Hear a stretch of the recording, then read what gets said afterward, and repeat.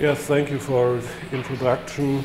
Um, the paper is uh, latent barriers in wiki-based collaborative writing and it's a result of uh, joint work. Um, this is the agenda. Uh, for me, it's the introduction and the sociological analysis. All the other things will explain Alexander. What is the background of our work? It's uh, the idea of collaborative working, uh, writing, collaborative working. Many wikis follow Wikipedia and the success of Wikipedia has become a model for most of the other wikis. wikis are a tool for equalization in collaborative uh, processes. What was promised uh, from collaborative writing, I can say there was low threshold participation, the overcome of barriers of participation. But today we know about the unequal distribution of participation in all internet media. Some say there is a 99.1% uh, pattern or with regard to the underlying positional structure, we um, did research in mailing lists, in online chats, and in the German Wikipedia. And we found in all these cases center periphery structures. The background ideas, we refer to uh, four ideas. The first is the co-authorship, the second, the overlapping time window-based analysis, the sociological concept of positions and the center periphery structure. What's about co-authorship? we know the collaboration is just different persons work together on articles and what's the standard measurement uh, mostly in computer science is just who works with whom together on an article. But the problem is, we know Wikipedia is now 11 years old and editing together in a time range of 10 or 11 years, can we count this as collaboration? Not exactly in the sense, uh, in, in a sociological sense. Maybe in a formal sense, yes. But in a sociological sense, I would say no. And which concept do we have for collaboration? minimal, we can say they have to refer meaningful to each other. Sinnhaft in German, in Max Weber German, uh, sinnhafter Bezug refer meaningful to each other. The second is the overlapping time window based analysis. We have a problem in the standard measurement of compression. Um, the standard measurement of collaboration does not regard to the problem of compression and this leads to a distortion of the relational structure. And we know um, work on articles is, is not necessarily continuous. A life circle of collaboration, we find this. Phases of strong collaboration follow on periods in which a text is ready. and with the concept of the overlapping time-based analysis, we uh, refer to the limitation of participants' memory.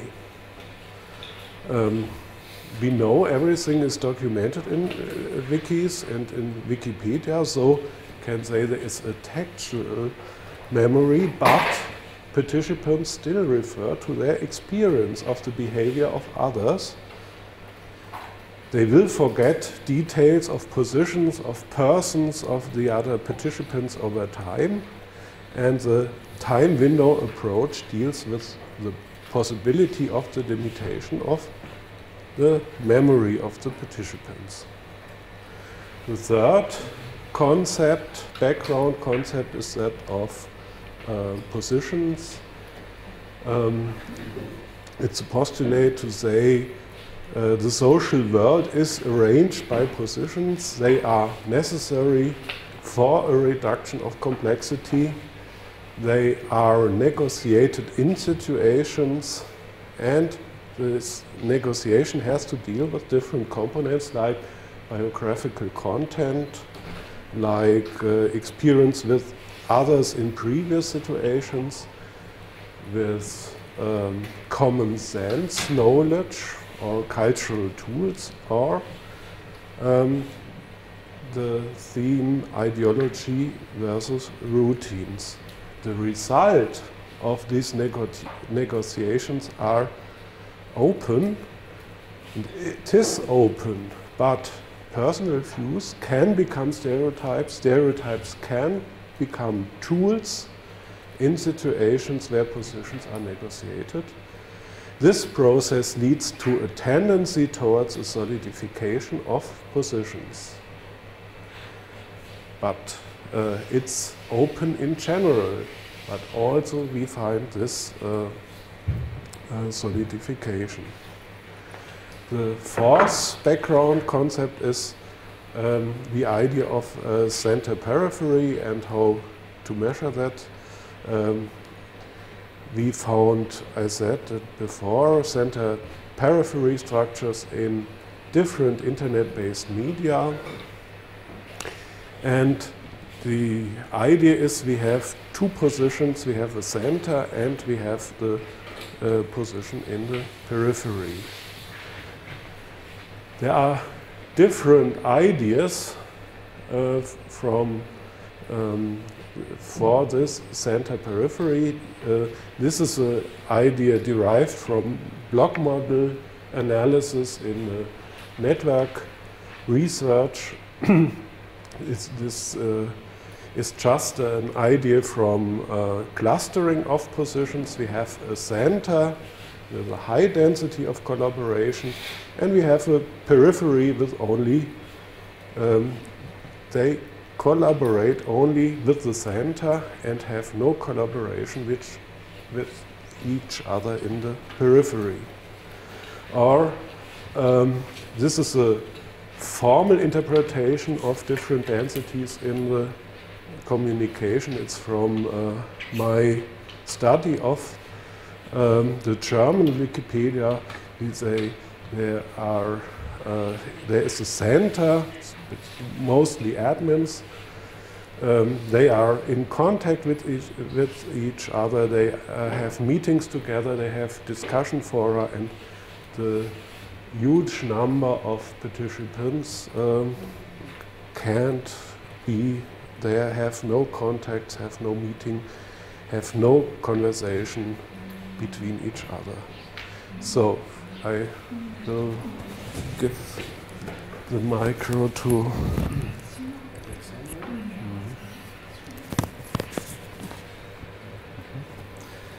Thank you very much. I will now uh, explain a little bit about the experiment that we have done in order to shed light on this sociological analysis. And this uh, experiment starts from a description and comparison between two wikis. The one is a special purpose wiki, and the other one is the Wikipedia itself.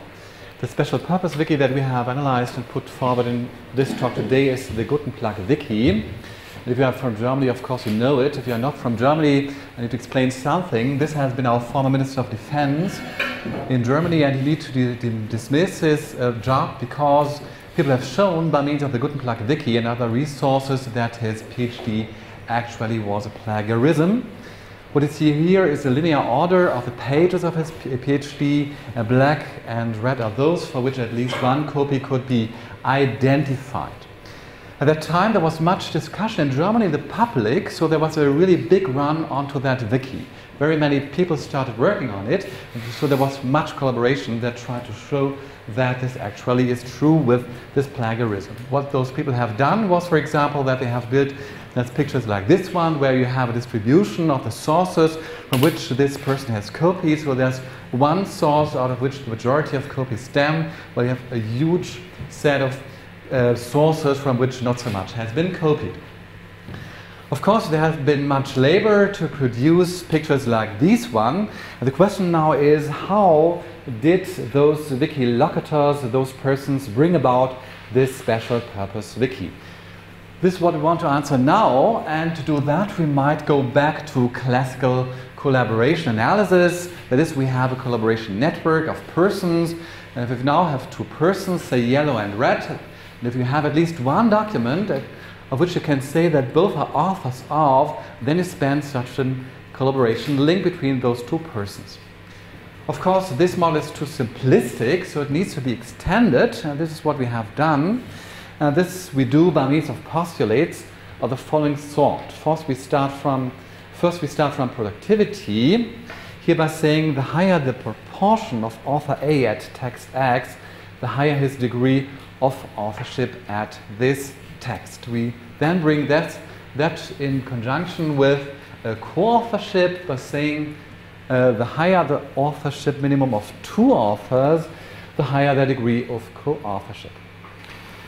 Of course, what we do is that we do not count authorship below the level of words. That is, we start from the level of tokens. We make this kind of linguistic analysis. And even more, we do not count those authorships that are below the level of three words being inserted. Then the next step is what Christian already has explained with relation to the social, sociological concept of roles. And here we have nicely shown in the past that we could explain a little bit at least the deviation of the power law being fitted to the degree distribution of collaboration networks um, by means of showing that those different persons who have worked on this Wikipedia, the German one, belong to those different roles. So if we fit those degree distributions according to the membership of those roles, technical ones and more social ones, then we can better explain, a better fit the power law behavior. The third point that this already has also been mentioned by Christian is time sensitivity. Here we say the closer the time of the contributions of two authors, the higher their degree of co-authorship. Think of two persons who are working at the same document. The one is doing it in one point of time, the other one in the other point of time. But when the other uh, person starts working at the same document, the first person is already dead. In this case, you would hardly say that they uh, are co-authors or collaborate. Then, of course, we might also talk about more linguistic features, more linguistic postulates of collaboration, like cohesion and coherence. But to date, this is rather very hard because for that you need a very profound means of computational linguistics to do that automatically. This is of course somehow uh, what we can do already, but uh, it's rather very effortful, so we did not do that today. Um, then finally you need to put together your measurements according to those different postulates into single statements and basically they tell you that if you find the more documents for which the degree of co-authorship is that the higher, then you get more evidence in terms of the collaboration of these two authors. In our talk today, we concentrate on these two postulates, productivity, this has already been explained, and time sensitivity will now be explained. We start from a timeline like that one, and onto that timeline we map then the collaboration networks. We do that by windows in the usual way that have a certain width and a certain clock speed by which they are shifted step by step and then we get a time series of those windows with according collaboration networks. There's only collaboration that occurs in such a window is used to induce such a network. Next, we can then use those networks to induce time series of graph invariants that describe topological characteristics of these collaboration networks. This is what we have done by means of the wiki and what you see here is short picture of the order of those networks, that is the number of collaborators. We start at this time point of the settlement of the Gutenberg wiki. There are many, many people online in such a window of uh, three days, shifted one day by day. And then we go to the next point and you see how gradually less and less people collaborate till we finally get the last snapshot in which only two persons collaborated. These are these two persons.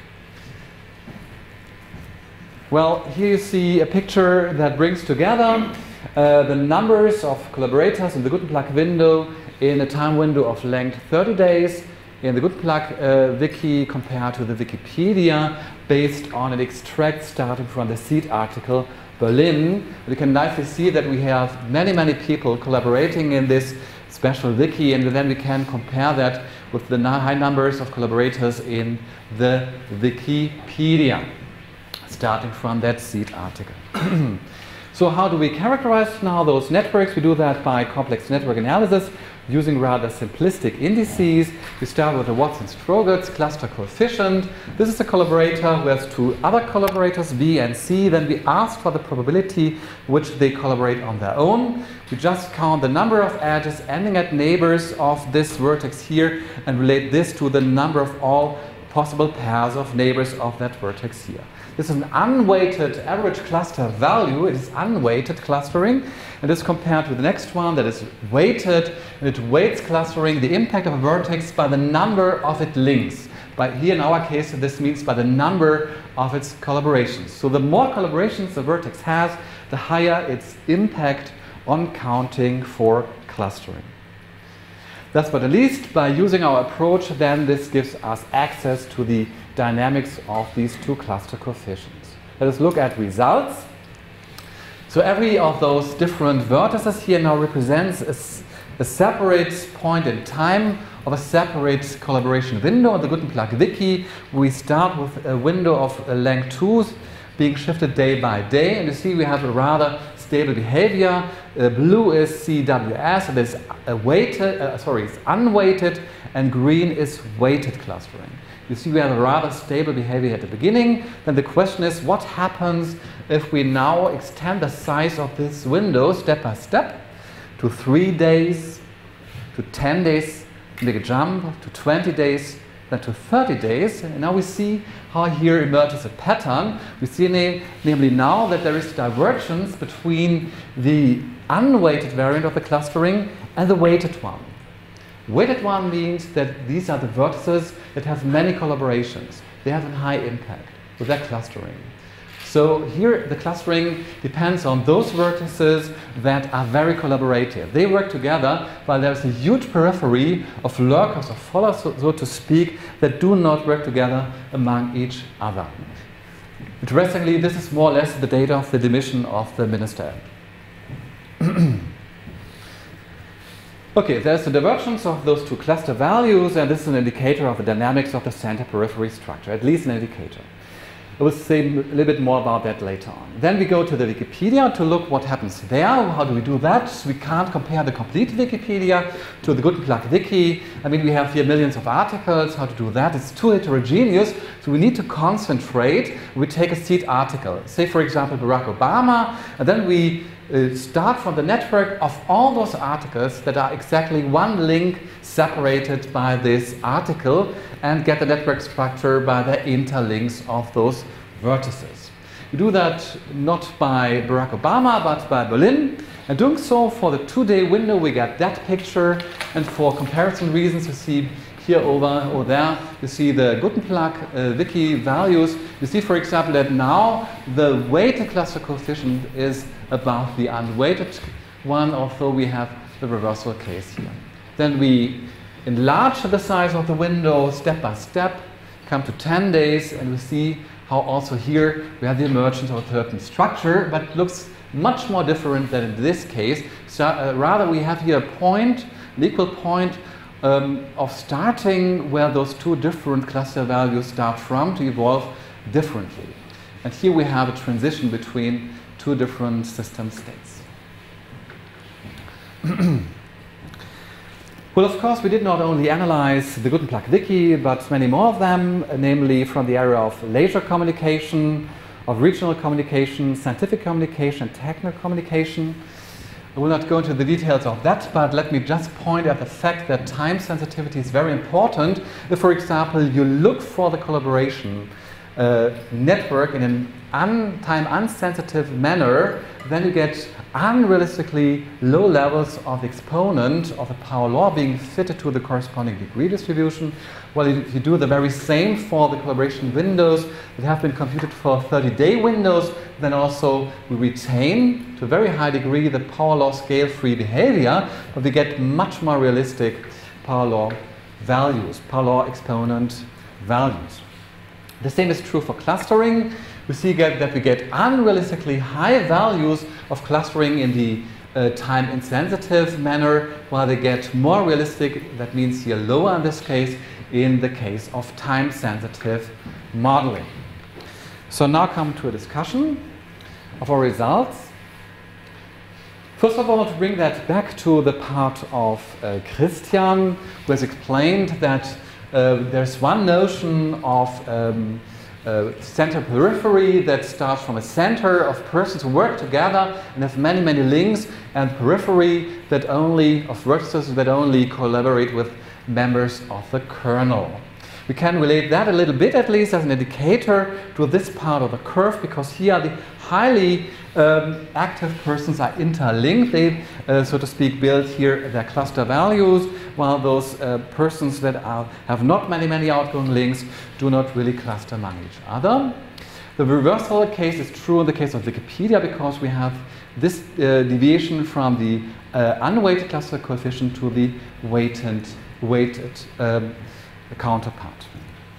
Of course, starting from this example, it's only an example so far, we then can think of a typology and here we just distinguish the different uh, phase transitions starting from these time series and looking at these two coefficients from the weighted cluster coefficient and the unweighted one. Then we can just count account for the different variants. Here, for example, we have um, a high level of entropy. Both states go together uh, from two different uh, starting points, or the, in the reversal case, they fork uh, into different directions, also starting or ending up in different uh, states of the system. Looking back at Wikipedia, by example of Berlin, and this special purpose wiki, they can then be settled into these cells of this typology.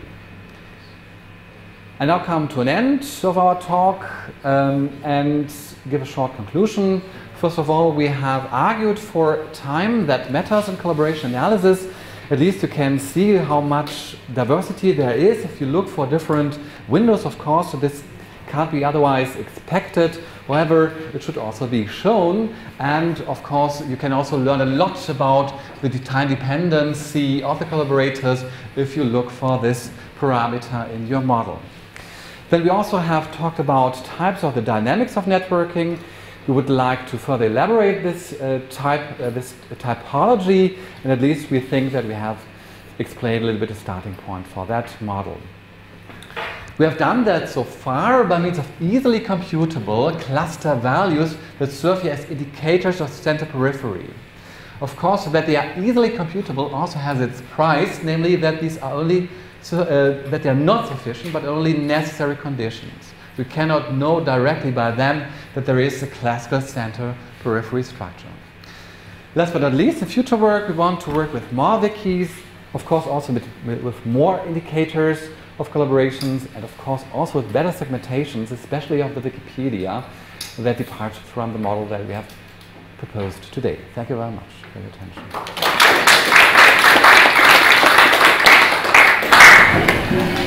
Thank you very much. Um, we have time for questions, so um, and yeah, as one of the objects of investigation here, um, I take a little bit of askance at the definition of co-authorship. Mm. Um, because co-authorship was not just writing words in the wiki, in this particular Wikipedia wiki version, and I don't think it's the same thing in the Wikipedia. Wikipedia mm. is actually different in the sense that there were a lot of other offline activities and a lot of collaboration on the chat that would would be a co-authorship in my uh, yeah. my feelings mm. of thing, but would not be reflected in your model here. A very good point. Um, I, I, don't know. Sorry, it's doing my. a very good point, and also a starting point of considering our model. Mm. Um, please have in mind what I have said when I have enumerated all those postulates. They came from very simplistic measurements, count the number of words a person has written, and they, they turned out with something saying about cohesion and even more important, coherence. We know from a dialogue, for example, that it's turn taking. And if you take a turn to what I have said, of course, you, you relate your words to what I have said. There are not metaphorical expressions for example, ellipses and so on. Many, many linguistic relations there. This is what we want to do.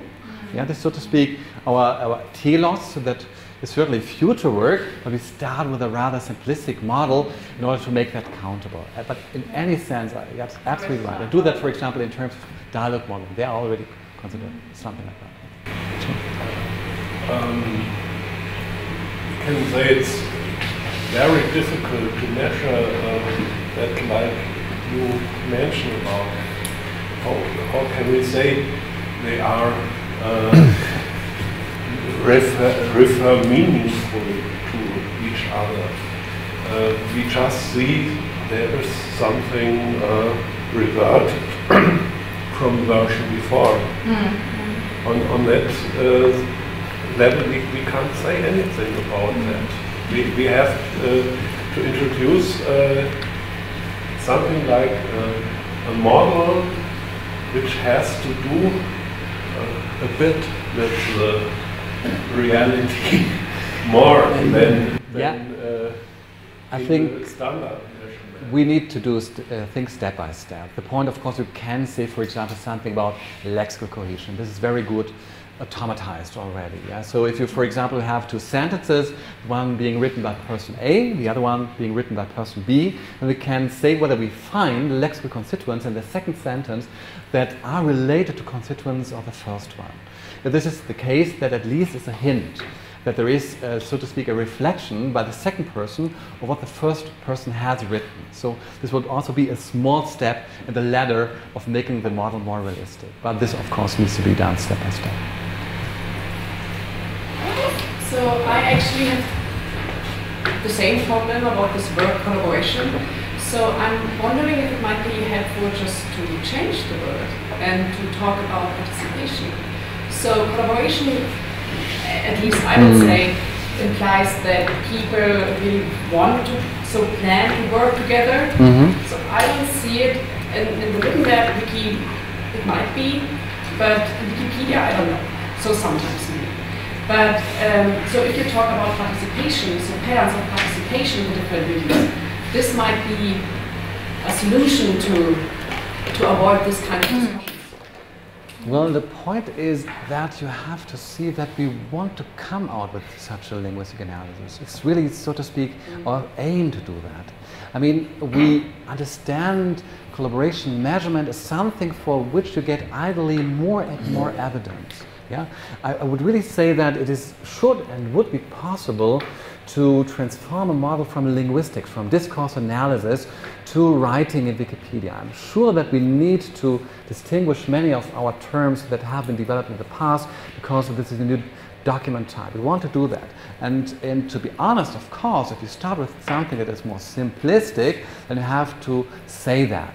But of course, you should not uh, miss to say that your target is to come out with a more linguistically profound model. That's the one point. The other point is uh, rather very simplistic that the community speaks in this case of collaboration. I mean, collaboration analysis in the past has been very simplistic. Look for, at models from 2006, for example. They even do not look at the amount of persons that they, uh, the amount of data persons have uh, submitted to, uh, to a different article. So. He's a, a computer linguist, so um, my idea is um, to look more at uh, different positions. And maybe the article is not the only level for this analysis. And when we have a look into the article and the collaboration, we can um, see that there are different positions. For instance, um, Werner is uh, it works in another way um, with the text, with the reversion of the of the text, then uh, any author who uh, knows something about the, the topic of the article. And uh, they all, the different positions work together to collaborate. To, uh, but, but then, then I'm, sorry, but then I'm wondering if the talk page might be more interesting for you. So if you analyze the talk page, uh, looking at uh, the discussions people have, and then inviting the change. I don't know if this is possible, but you know, like yeah. they discuss a certain aspect of the article, and then like a page, and yeah. then the yeah. final decision or the outcome of this discussion. This I mean, if you are interested in finding something that is very like to oral communication, of course, that would be a good advice. Yeah. But if you, from the beginning, understand Wikipedia as a new sort of document where you find new laws of collaborative writing and you want to deal with that exactly, then mm. it's not such a good advice because you want then to deal with the complete data. And it would even say that it's more difficult to do that for article networks, but nevertheless to have this idea in mind, to have this hypothesis that there is a sort of collaborative writing for which we get a research topic and ask for the laws that are behind those patterns that we found there. At least we find some patterns. Uh, we did this for a small amount of articles uh, German Wikipedia and in many of these cases discussion has nothing to do with the article. We don't have much time left, but maybe if you keep the question and we keep the answer short, we can incorporate one more question. Very short question. Um, I mean, you, you, showed us two models um, that you identified in the, in the, in the different mm -hmm. types of people. Have you any idea um, about what factors are um, um, are the reasons for the development in one or the other model, either network factors or substantive? I think this relates somehow to the specifics of the GuttenPlag wiki. Actually, it turns out that during the work on that wiki, it was not so much about collaboration. It was rather work of a very small group who worked very concentratedly and did the job. It was not the community. It was a small group, and that's the reason for that. Okay, again. Uh, sorry to intervene before you go on to the next talk. I don't want to be divisive, but um, you, you, know, um, the second parallel session now we're about to start. And because we had our first talk was cancelled, and so there, there, that's why this huge crowd is in this room. And I want to take all those interested in the other two talks that are taking place to follow me to the next room. That's not fair. I'm sorry, but that's, uh, thank you.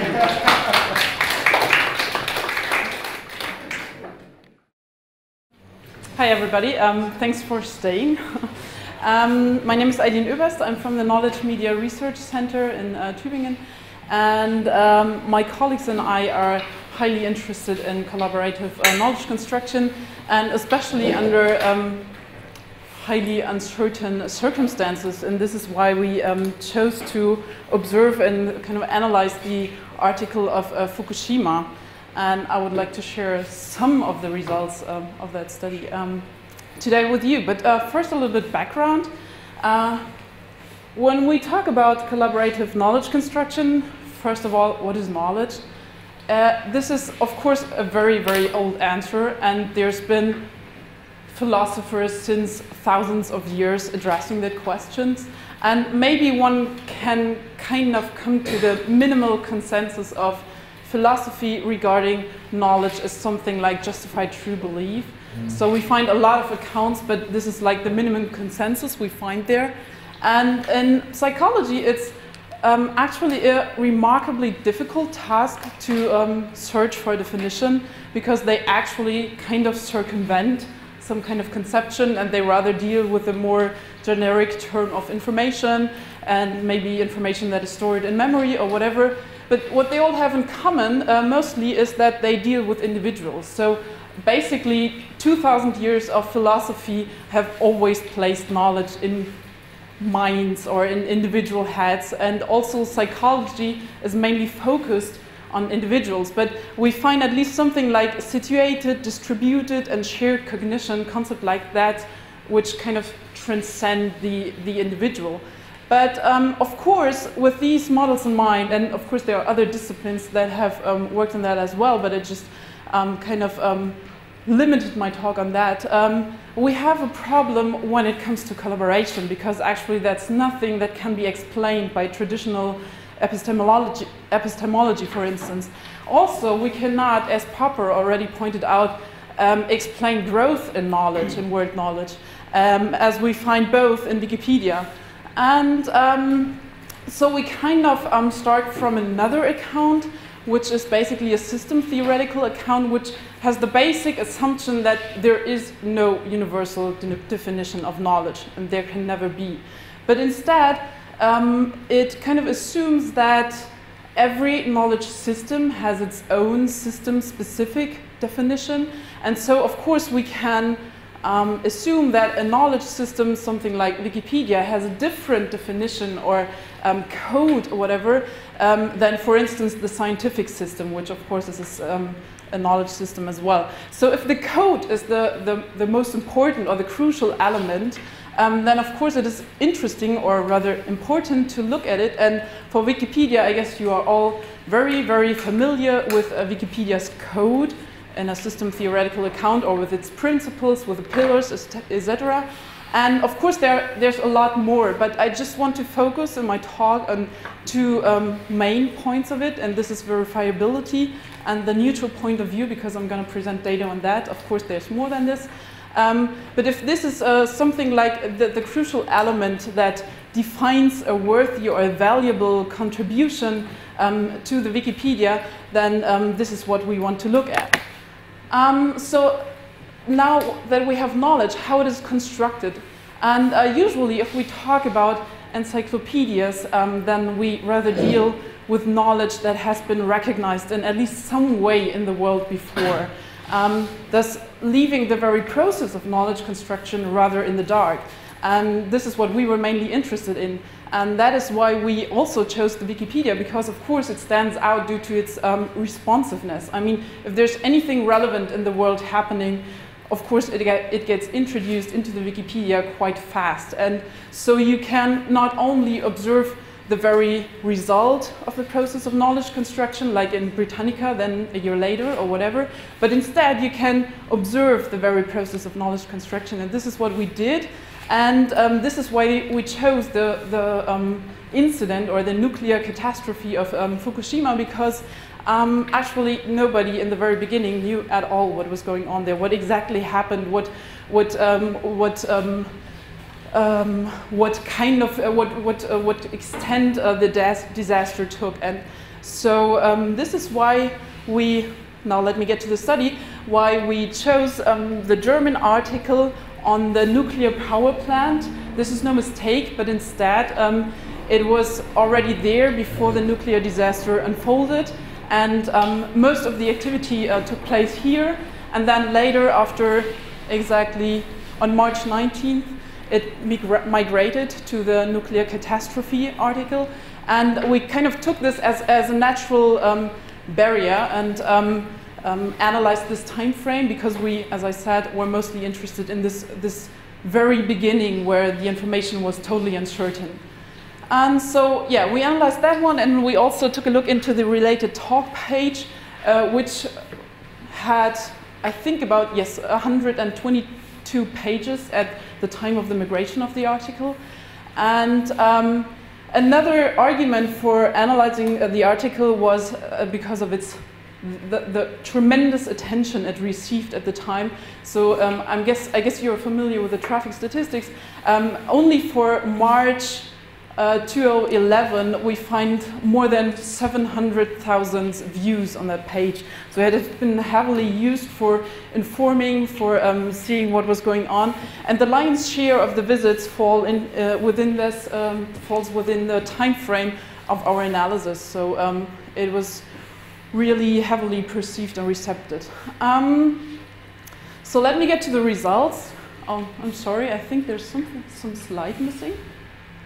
Oh, no. Um, so the results I have structured somehow in the way that I'm first going to present some general findings. You want me to? No.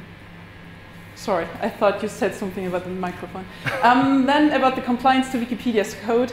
And then um, I'm going to present an expert evaluation we conducted in the very end to see, uh, uh, to learn more about the art uh, article quality.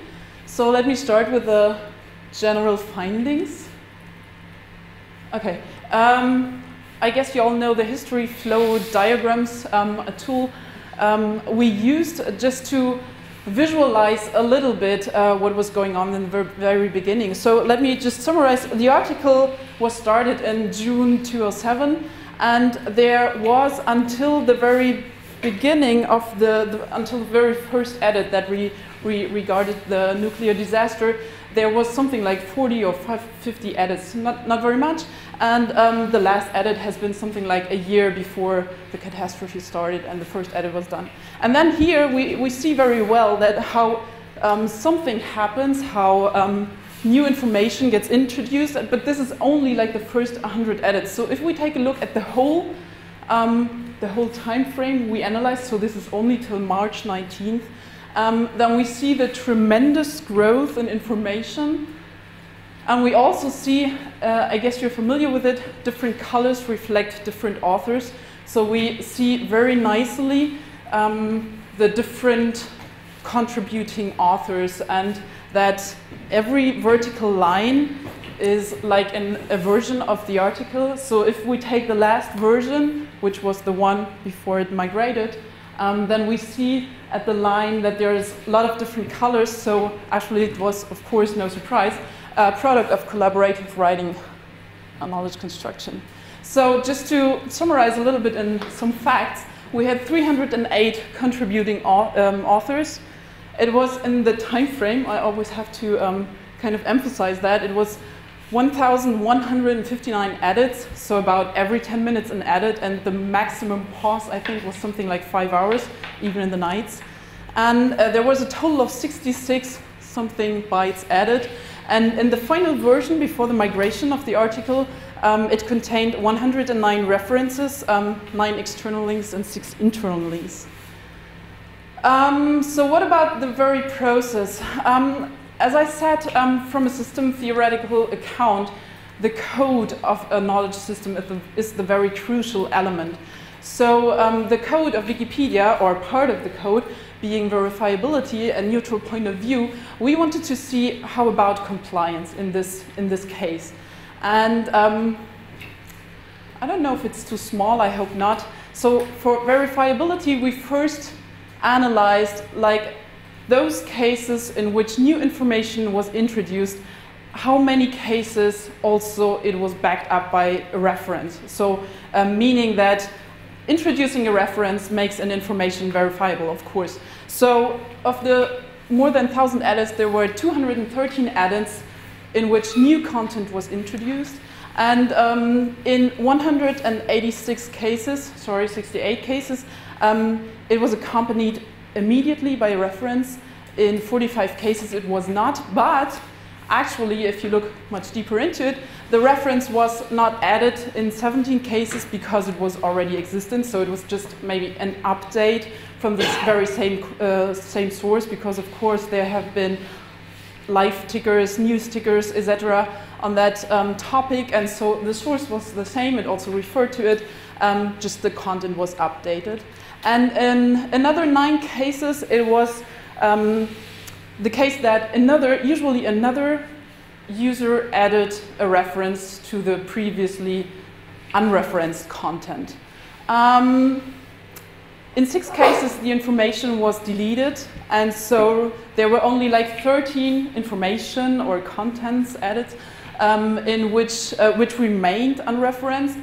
And if we take these together, we have like 194 contents that were eventually referenced, which is, I think, a really pretty high number compared to begin with. Um, so um, the conclusion would be something like um, we find a high rate of compliance in the first place. A lot of references have been um, inserted at the very time when, when um, the information was introduced. Um, but also some cases of distributed accomplishment when another user added a lacking reference. And we also, of course, no surprise, find an intense and lively debate on the talk page and mostly around something like source credibility, of course, which information or which sources of like media um, are more credible than others, or something like is it useful to refer to the primary source like um, the, the homepage of the operating company, TEPCO, or um, rather not because they might have a conflict of interest and stuff like that. And um, this was um, a very interesting point I found. Um, we had um, we observed a discussion around something like verifiable speculations. What I want to say with that is that, of course, there were lots of kind of experts in the media which um, like stated something. And of course, if you have the reference to that interview or whatever, to that stream, uh, you, you have a reference, you can verify it. So it's an information that uh, complies to the demand of ver verifiability, but it may nevertheless be a speculation, which you do not want to have in there. So there has been a lively debate about this one, and you, you could, of course, have an, uh, a lone talk on this one, but I just want to leave it that way. Um, but what about other facets of the code? Like if we take neutral point of view, we also find a very high rate of compliance. Actually, there have been only four instances that disrespected um, this demand, and it was mostly biased phrasing or personal evaluations. And uh, have in mind that it was something like 1,159 edits overall, and they all, those four, have been deleted within two to 11 minutes. So but now that we have seen um, that they comply to the code, compliance is nice, but what does it result in? That was the question we had uh, in mind when we conducted an expert evaluation, where we asked leading scientists from, the, um, from a non-profit, or we selected them from a non-profit um, organization on um, reactor safety, and they were all leading scientists in the fields of nuclear energy, nuclear power. And uh, we gave them the version of the article of the, uh, the time frame we analyzed. So it was the version of the 19th of March and um, before the migration. And uh, we asked them to evaluate the version and with respect to quality, accuracy, errors, etc. And um, the main results, I'm going to just focus on a little bit of it, um, is that they all those six experts that agreed uh, gave a five or a three, um, uh, sorry, a five or a six. So they all agreed on a quite high um, quality with respect to accuracy. Um, interestingly, um, even though it's only a five or a six, um, only one expert mentioned errors when we asked for them and the others did not. And there were even experts, which I found quite interesting, who said, um, Actually, I can only rate this part of the article because actually I have not really much um, knowledge about the rest of it, uh, which really brings us back to the issue of expertise. Um, and um, this is another uh, very interesting part. So we get back to the one who mentioned errors, and we conducted an additional telephone interview to learn more about it. And um, he said that, um, well, he identified mainly two major errors. And it is noteworthy that these errors had been in the media and the information within the article had been referenced.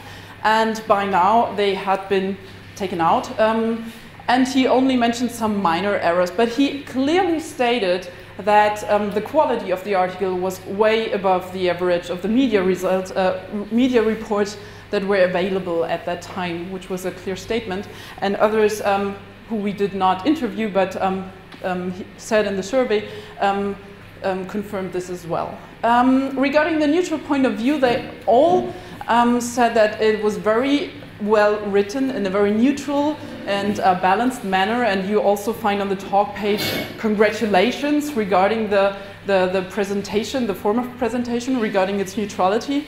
And um, so let me sum this up and then I get to the final end, to the end, to the final, whatever. Um, we find a quite high accuracy and an unbiased uh, presentation. This is, I think, even more impressive in consideration of the fact that the uh, information available was really highly uncertain at that time. Second, the topic is quite specific. I mean, you need some kind of expertise on that, or you need at least to have uh, access to research um, to inform yourself. And on the other hand, of course, uh, such incidents are highly emotionally and ideologically charged. So I think it's really impressive with that regard um, what happened here, what we observed here. But um, so we can say Wikipedia's code was really highly effective in this case. But I would really like to stress that the validity of this conclusion is just limited to this case. So to the selected article, we observed only this one, only the German version. So don't, please don't nail me with some kind of generalization that I do not want to make, okay? So, and also of course with uh, respect to the analyzed time frame. Although I noted that it is nominated for the Zedler Prize, so it must have been beyond this time frame. Um, uh, a result that was observed there as well, so quite high quality. So yeah, thanks. That was it.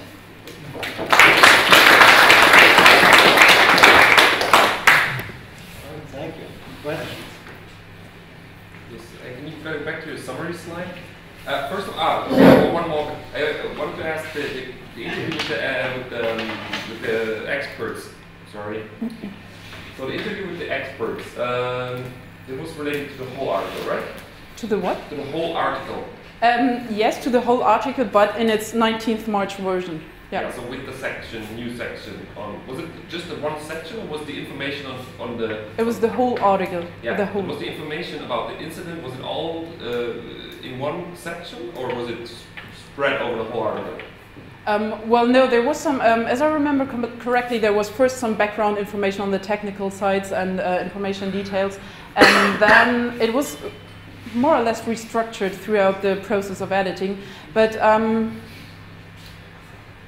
I think um, after the background information, it was more or less um, and a little bit on, on, on previous like uh, failed um, failed failed I'm missing the word. Um, there were some scandals in the past that, ha that had been before. Anyways, um, I don't know the correct word in English, sorry.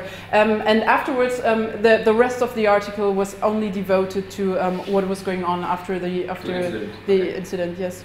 Oh, okay. Is, is there some, some reason for asking? Because I... No, was just, uh, I was just wondering what, what, uh, what the, the quality uh, assessment of the experts actually mm -hmm. refers to. Mm -hmm. Because if I have an article that is 500 pages long and I have a, uh, a subsection that deals with the, mm -hmm. with the incidents, then it does not say a lot about mm-hmm. information for the incident. Mm-hmm. No, it was actually like something like 18 pages, and I think the background was less than one page. Okay, so it was so really that's large. interesting yeah. because then it does something about the actual added information in yeah. this part. Then it's okay.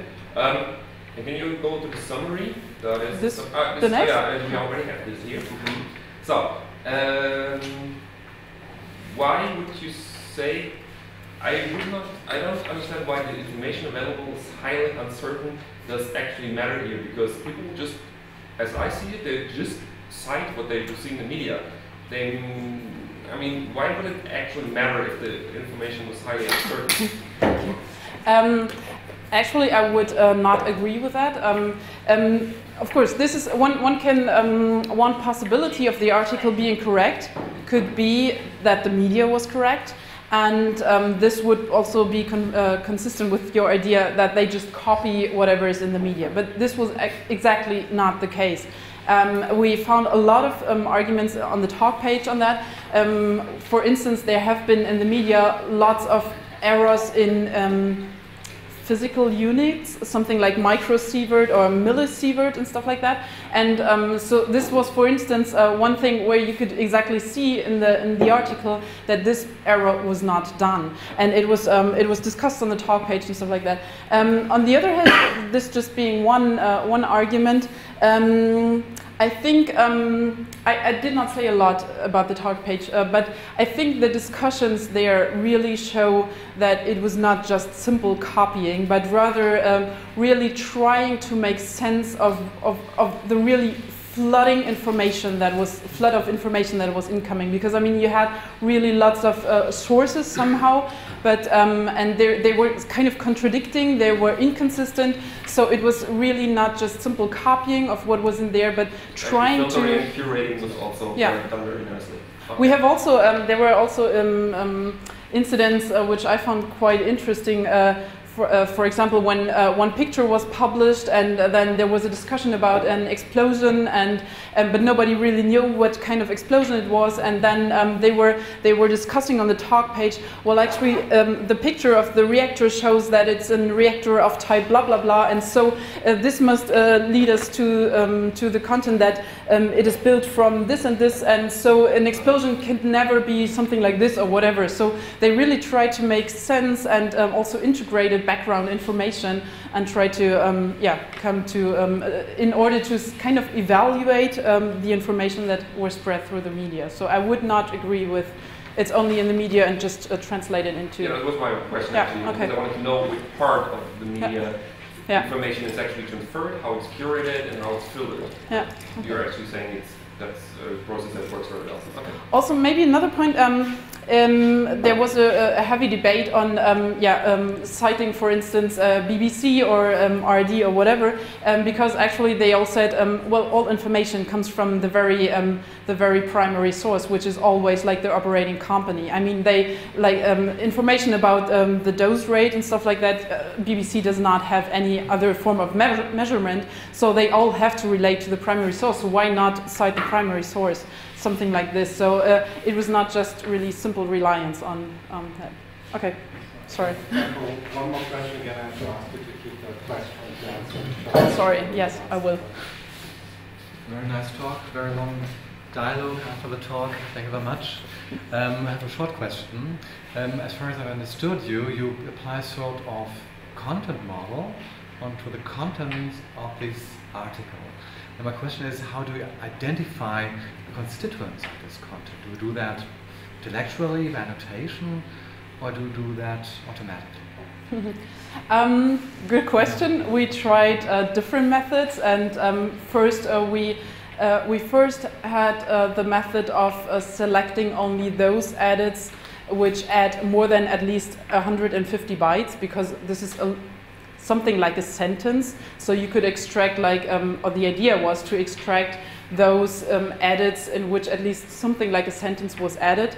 Um, but actually it get lost, uh, uh, some, some uh, specific contents get lost because uh, it's below the threshold or because um, maybe they deleted something and then wrote something new which is in some not more than 150 bytes. So actually we, um, we then uh, got back and um, looked through the, uh, through the changes manually to check whether um, our method was, was valid and then we identified those cases in which it was not. So actually I have no better solution, I'm sorry. okay, thank you. Great, thank you. Can I ask a quick question? But really quick. Yes. So, uh, how did you assess the compliance to NPOV? Um, well, um, there, of course, there's no criteria, but um, but um, actually, we only um, looked at what deviates from the neutral point of view, which is something like biased phrasing or personal speculation, and uh, we just identified those uh, those cases in which uh, there was some disrespect, and it was not more than four cases in more than a thousand. So I would say you can argue for a high compliance rate um, um, regarding to that demand. There's no more I can add. Maybe that- maybe We can talk about that later, maybe.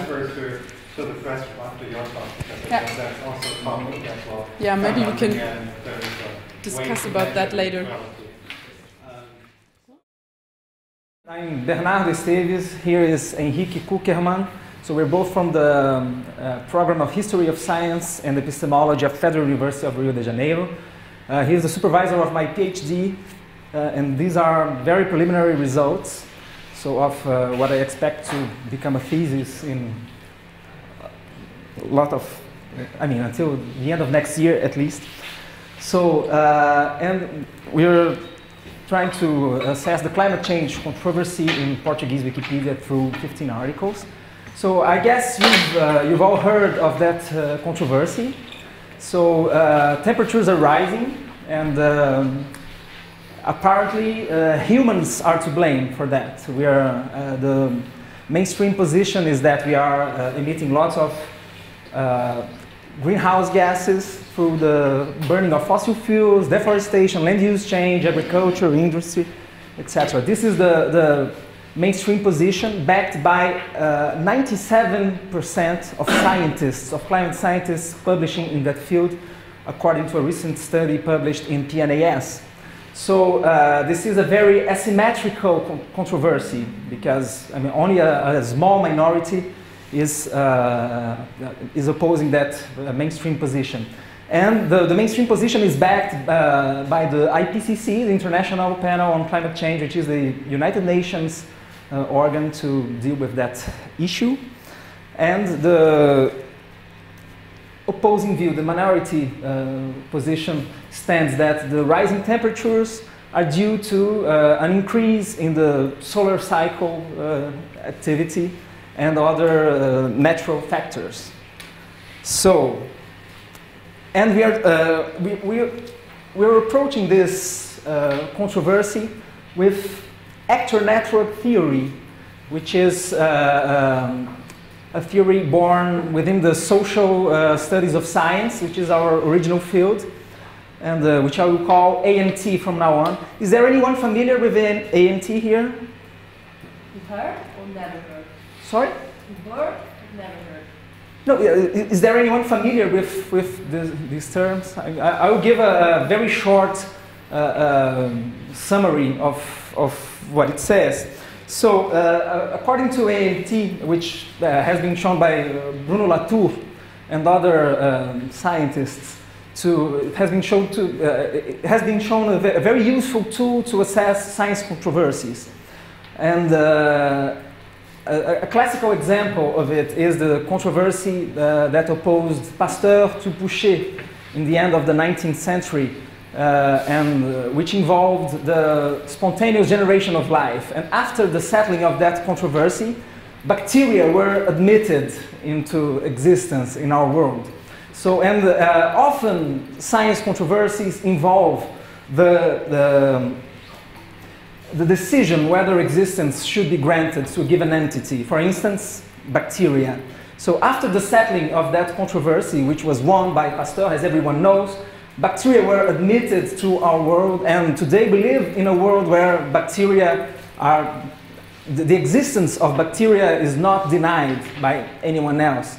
Because, and ANT will explain the, the, the, the force of these entities, of, of bacteria, because they, uh, uh, as, as, we put here, uh, because the, the, its existence can be understood in terms of the strengthening of complex socio-technical network of elements supporting it. If you want to deny today the existence of bacteria, you have to, to dispute Nestle, who produces yogurts, or you have to dispute the, the big pharma companies who produces antibiotics. So this, these are the kinds of uh, uh, different elements the, that compose this social technical network who reinforces the existence of, uh, of such entities like bacteria. So uh, that's the way uh, uh, actor network theory uh, uh, explains the settling of, of science controversies. And so if we, um, since ANT is a good conceptual framework to assess science controversies, we thought that it might be a good tool as well to assess science controversies and other controversies in the social technical environment of Wikipedia.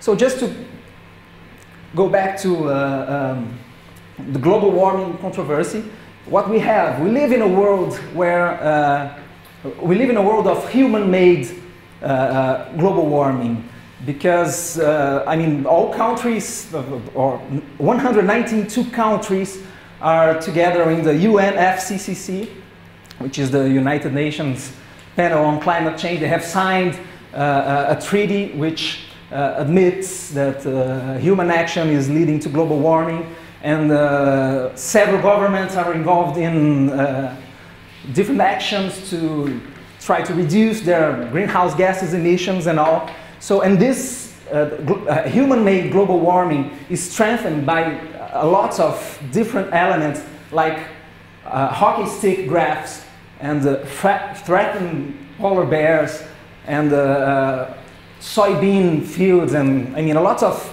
human and non-human elements and this is a very important uh, uh, point in Latour's uh, view of, of science controversies. Just to give you a, a kind of example, so uh, these are all these examples. Uh, hockey stick graphs, polar bears, soybeans. These are all uh, uh, agents that contribute to actors who contribute to strengthen the position of, of global, human-made global warming. Just to give you a, a short example out again of, of global warming, think of the Loch Ness Monster. So, uh, does the Loch Ness Monster exist? This is not a good question in terms of ANT, because uh, for ANT, it will, uh, we'll consider it as an, an actor because it makes people travel to Scotland. It makes people uh, write articles on it, write books, and make documentaries and all. So whatever make people, make other actors act, is considered an agent, an actor by ANT.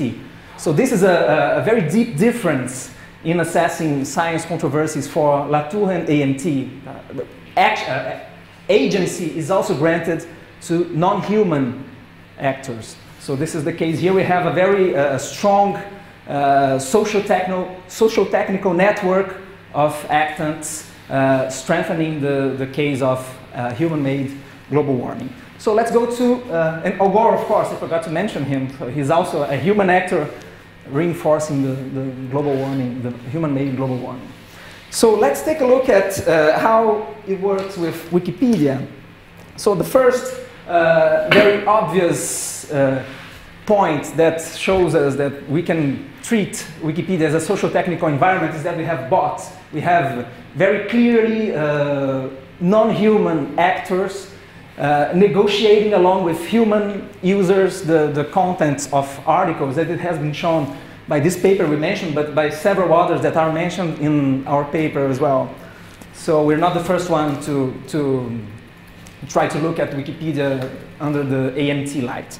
So, uh, and uh, another very good uh, uh point to, to show that Wikipedia can be uh, analyzed by ANT is that the, the verifiability, so the fact that statements should be uh, supported by uh, external references is, uh, is a way to, to bring allies to support that point of view. So, and the, the, the, mobilization of allies is a very, is a way to, to describe the strengthening of a, of a complex social technical network supporting a point of view. So the very, the, the very fact that people add a reference it helps strengthen that, that position, that statement in Wikipedia. So uh, I don't know if any of you were yesterday in the Srebrenica presentation, so in which the, the, the way the Srebrenica massacre or genocide was described in several Wikipedias. Uh, we, we tried to look at the, this art, the, the current version of this article, and in the, in the introduction of the English Wikipedia, it was said that Srebrenica's massacre, also known as Srebrenica's genocide, and then you had five or six different references. I mean, if you, need, if you want to dispute that point of view, you have to dispute the six references. I mean, it's, it's not the user who included that information. You have to dispute that user, you have to dispute the BBC, you have to dispute all the sources that that user has included to, su to support his statement. So it's a way to, to, to bring allies to a, a discussion. So it characterizes as well Wikipedia as a social technical, social technical system.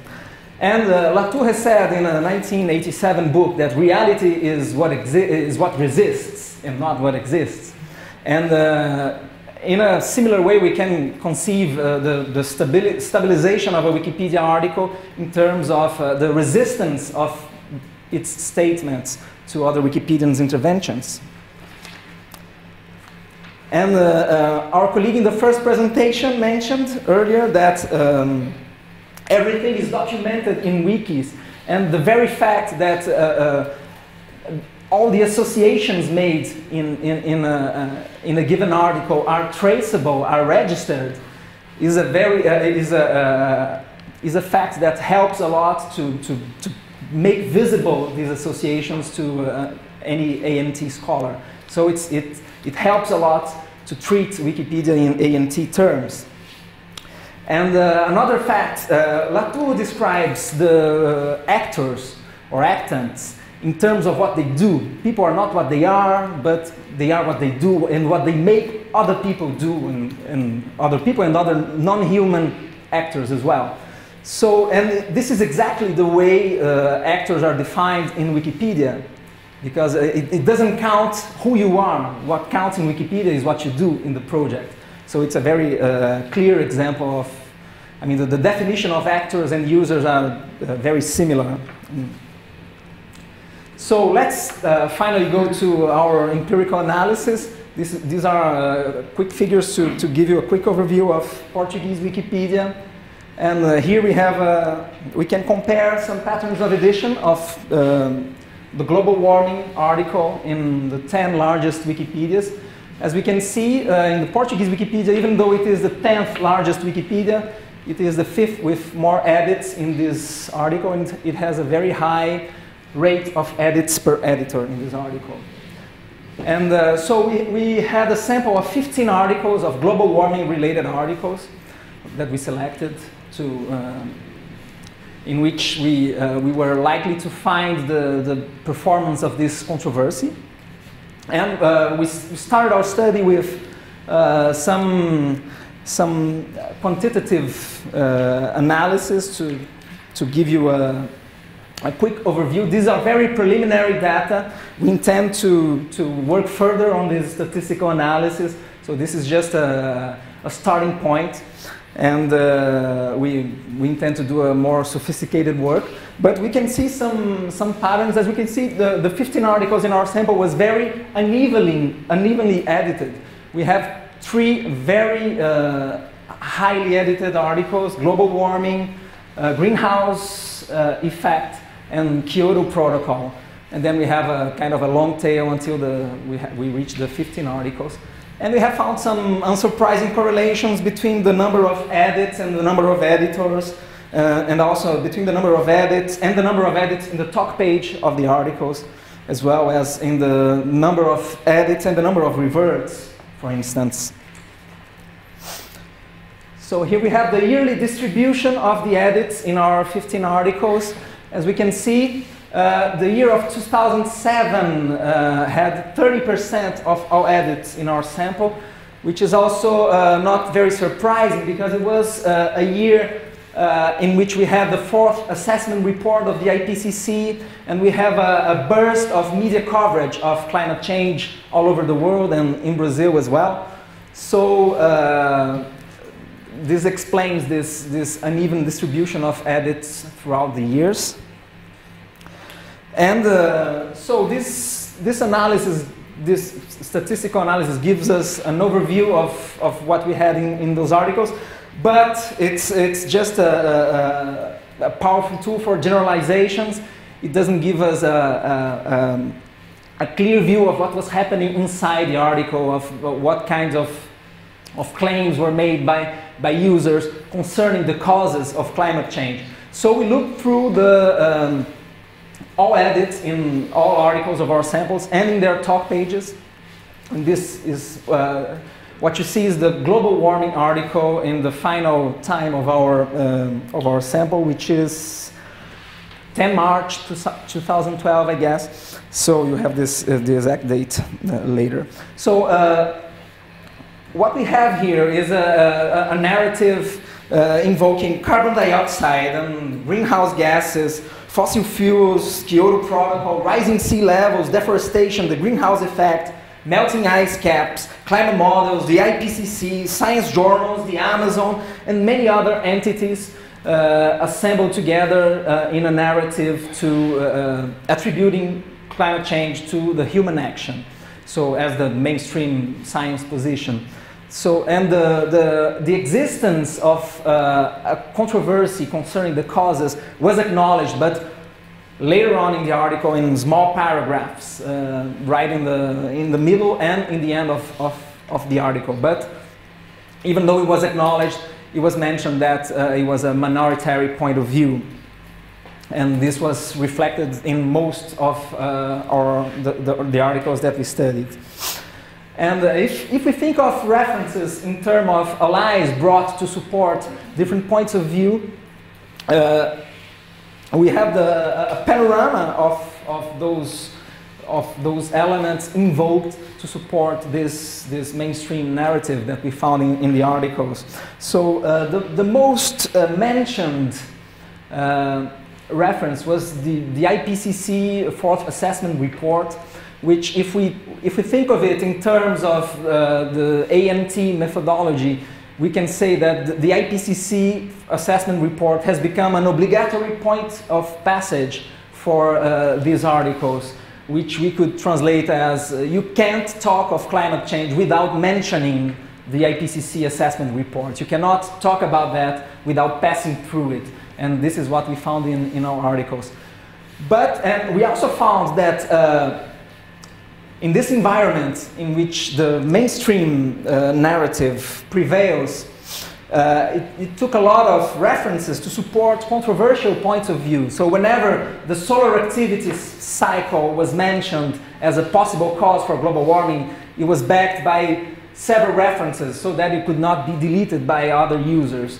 So even though uh, the, the mainstream position was prevalent, uh, whenever uh, natural causes were invoked, they needed to, have to, to be strongly supported uh, otherwise they would be deleted. And uh, from now on, I, uh, we will highlight some episodes that are representative of how the, this controversy was, was being performed. And uh, you, can, you have a much more detailed discussion of these examples and other examples in the paper that you can download from the, the conference site. But uh, I will try to discuss some of them here. So in this case, in the Kyoto Protocol article, we had uh, a, a, very powerful ally was invoked to, um, to, uh, to support the, the, the, the, natural causes position. Uh, it, it, was mentioned that the White House also questions the scientific consensus that the pollutants emitted by humans cause the rise of Earth temperature. So this, uh, this statement resisted for a few years, but it was eventually replaced by uh, a user who changed the White House by some Americans. And this is the version that is still uh, prevailing today. So another case, there was no room for ClimateGate. I, am not sure if you've heard of the ClimateGate.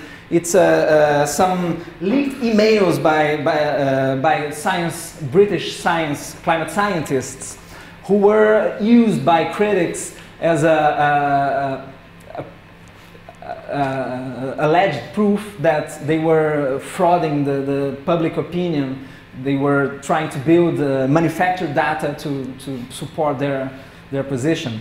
So uh, this is the top page of the global warming article. At, at a given point, uh, one user has suggested that uh, given the scandal that portrays anthropogenic global warming as the greatest farce of the millennium, I propose that this page is modified in order to host the abundance of new information concerning the IPCC, the peer review process, and much more. It was under the ClimateGate section. And uh, soon after that, uh, an administrator intervened and said, well, I, I advise you to read the, the, the answer of several scientists in those pages, and he gave three references. And the ClimateGate uh, scandal never reached the, the, the article pages. And uh, it, it, they also tried to uh, uh, mention it again, and it was not admitted in the, in the main article pages. So it, it's not mentioned. So readers of uh, uh, Portuguese Wikipedia don't know that this case happened. So th there was no room for the ClimateGate in Portuguese Wikipedia challenge to the IPCC were not tolerated. So uh, at a point, at the end of the introduction of the global warming uh, article, uh, a user, uh, uh, which mentioned the IPCC in the end, a, a user said that the reliability of this organ is disputed. And this intervention lasted less than one hour. And only hegemonic texts are accepted as valid sources in, so uh, at a given point in the global warming article, a graph was included by an IP identified user claiming that there was no correlation between greenhouse gases emissions and the rising temperatures. It was removed one hour later by a former administrator who claimed, please cite uh, reliable sources. A blog is not accepted as a source. So uh, only hegemonic texts, science texts, were accepted. And claims disputing anthropogenic global warming removed even from the top pages. This is a, was a, quite surprising result for me.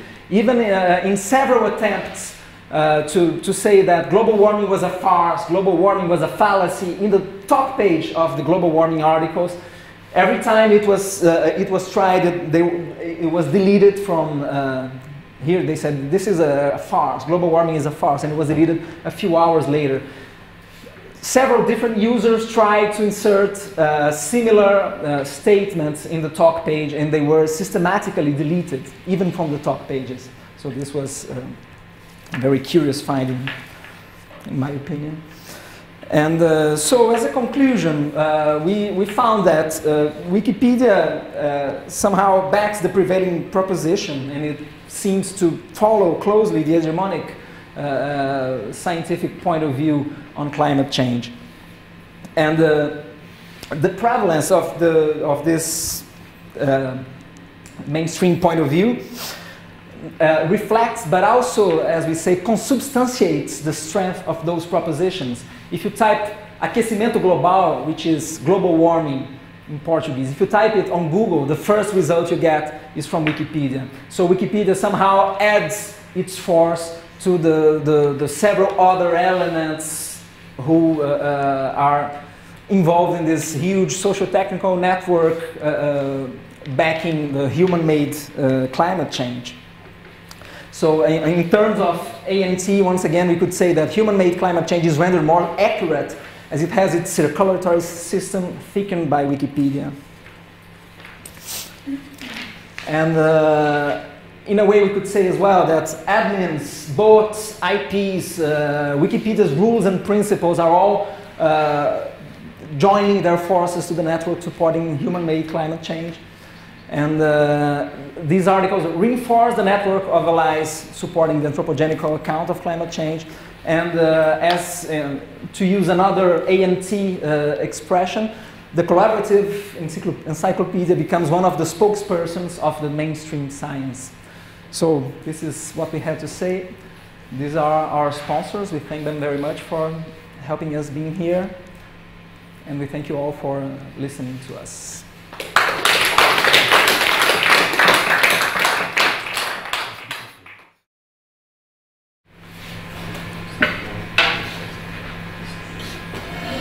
Um, thank you for the talk. Um, if you take a look at the um, the, the page on verifiability and uh, reliable sources.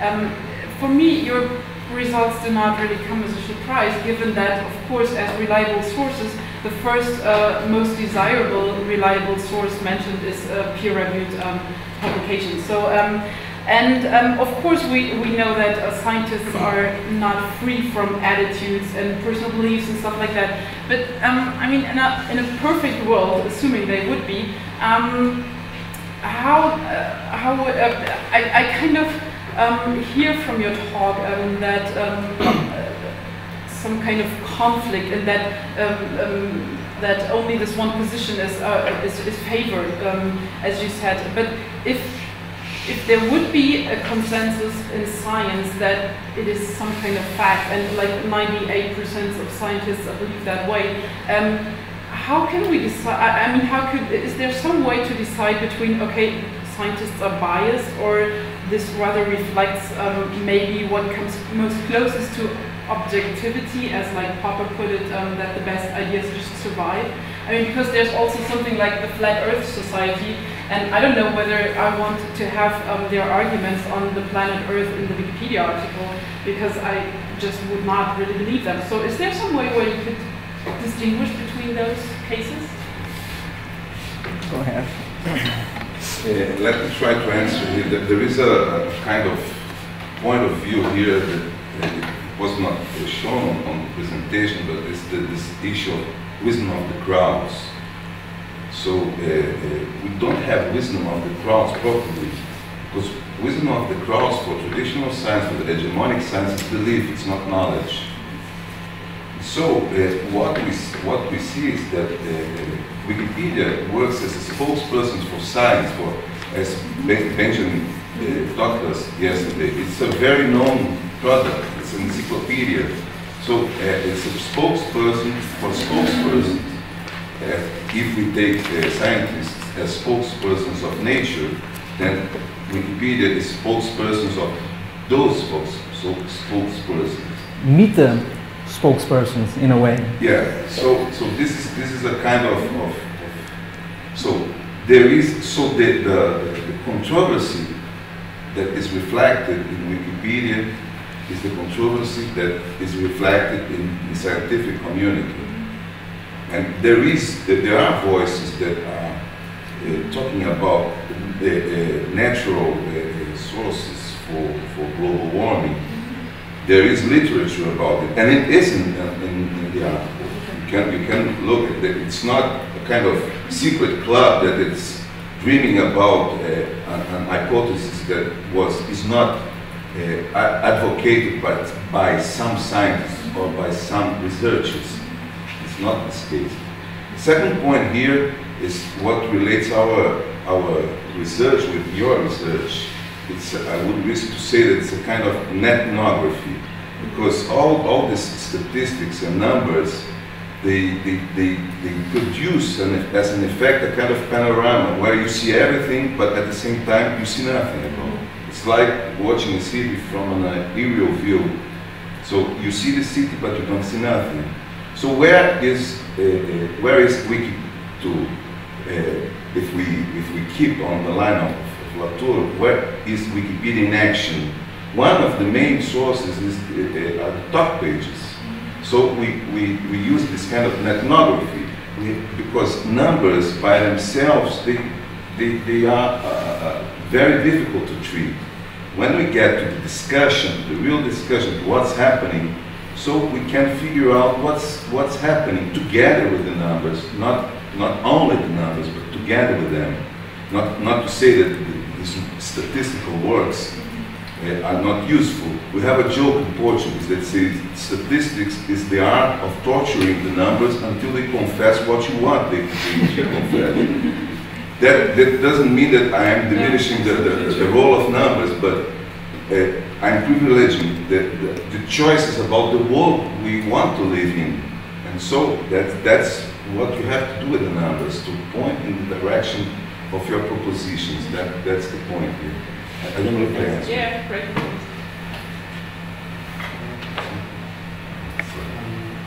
So we have time for one more question. We can, of course, continue the discussion after the session anyway.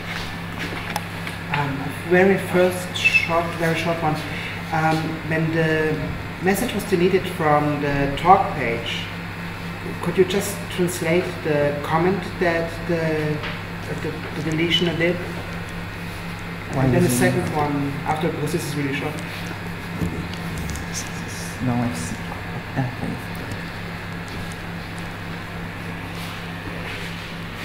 Uh, actually, I can't read it. I think it's on the paper, but uh, what was mentioned is uh, there is a, a policy in, in Portuguese Wikipedia which I didn't find an exact equivalent in, uh, in other versions of Wikipedia, which says Wikipedia is not a forum. I mean, uh, so they, they say that talk pages are not meant to, to discuss the issue of, of the, the, the article. It's, it's meant to discuss the, the ways the article is being built. So uh, this was an opinion about climate change. It was not an opinion about the article. That was the, the uh, I, I'll, I'll try to find it in the article and, and, and, no, and actually, tell you later. policy exists on English Wikipedia as well, and in many of the other Yes. Um, the second question I had, what I didn't get, is there at least a section in the article that says something like criticism on on the on the theory that humans are a fault? Think. Yes, there is, but it's very short. I, Is there a link to a longer article on that or not? uh, a very short article. It's, it's related, it's linked to another article which was included in our sample, but because of the time of the presentation, we couldn't mention every, but it's discussed in more details in the, in the, in the article. But basically, it is actually, um, would, the, the criticism was mostly outsourced because it's regarded as a French point of view on the on the Yes, theory. yes, I would say so. Okay. I found it out. The, the translation? Uh, w- uh, you can read because of the mic. Uh, yes, no, uh, in, in fact, I think he wanted the, the, the text itself. The guy said, um, I can find it here.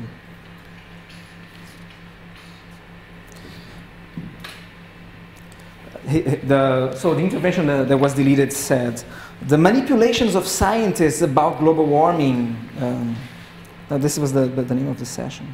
It's a, it's a, it's a quotation from the position. Yes, I, uh, I- I don't have it in in full here, but we, we had several different uh, paragraphs claiming that it was a, a hoax, a fallacy, uh, these kind of things, and it was systematically removed. I mean, we have at least seven or eight occurrences, such occurrences. Okay, So- thank you. Well, thank you. We're out of time, um, so we can continue the discussion um, Thank you all. later on.